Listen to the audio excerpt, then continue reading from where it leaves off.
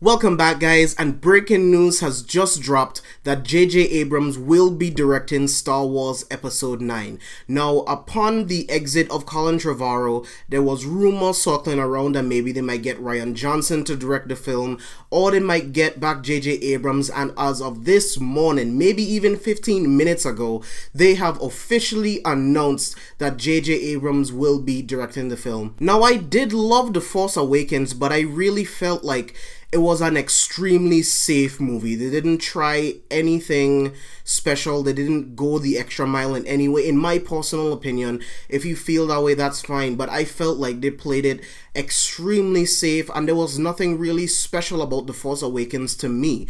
But now that we are now back into the Star Wars universe, everything is established and we are successfully moving forward, I am very excited to see how J.J. Abrams is going to use his creativity because I do like his visual style.